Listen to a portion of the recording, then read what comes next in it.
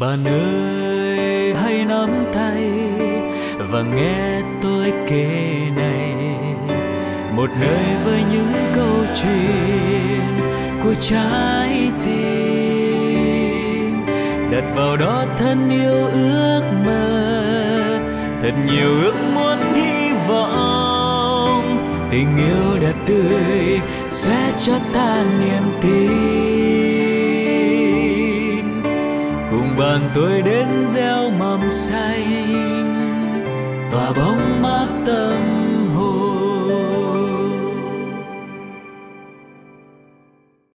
Học đến nơi đến chốn không bao giờ là thừa.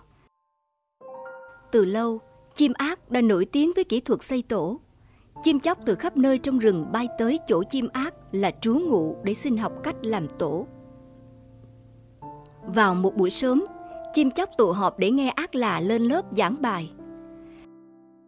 Phải bắt đầu làm gì và làm như thế nào? Các bạn hãy tập trung quan sát cho kỹ nha. Trước tiên, chúng ta lấy bùn đất nhào nặng thành một hình tròn giống như trái bưởi. Chà, thì ra là như thế. Tưởng thế nào? Quá ra chỉ có thế thôi à? Nếu thế thì ngồi đây làm gì cho mất thời gian? Thôi, tôi xin cứu. Nói rồi sáo đen bay đi, tự coi mình đã học xong. Kể từ đó, loài sáo đen chỉ biết lấy bùn đất nhào nặng thành một hình tròn tròn làm tổ. Bước tiếp theo, chúng ta sẽ dùng các cành cây xếp xung quanh khuôn tổ đã được nhào nặng bằng bùn đất. Bây giờ thì tôi đã rõ các cách làm. Nói rồi sáo sầu bay về miền đất của mình xây tổ nhưng sáo sậu mới chỉ học được một phần sơ sài cách làm tổ của ác là, đã vội bỏ đi. Vì thế, loài sáo sậu cũng chỉ làm được kiểu tổ sơ sài mà thôi. Sau khi xếp cành cây xung quanh, chúng ta lại trát tiếp một lớp bùn đất bên ngoài như thế này nha.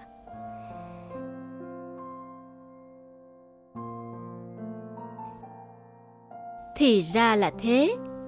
Thế là đủ cả nói rồi cú bay thẳng, coi như bài học đã xong. Do đó tổ cú cũng chỉ dừng lại ở cách xây dựng như thế.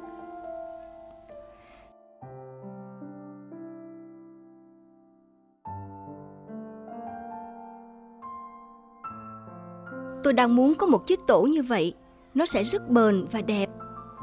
Chim sẻ phấn khởi bay về nhà mình làm tổ mới theo cách đã học được. Chà, tổ mới của mình đẹp quá!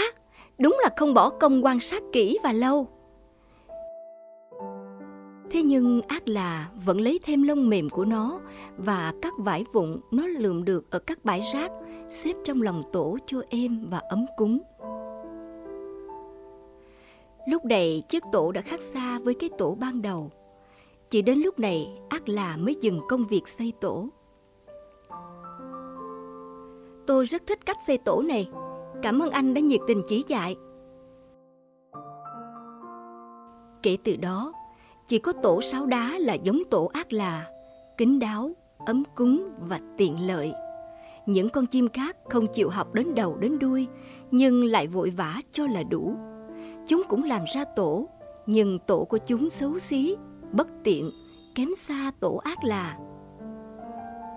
Học gì cũng phải đến nơi đến chốn bài học này không bao giờ là thừa, bởi lẽ kiến thức trên đời là vô tận. Hiểu biết nhiều thì mới có được thành công.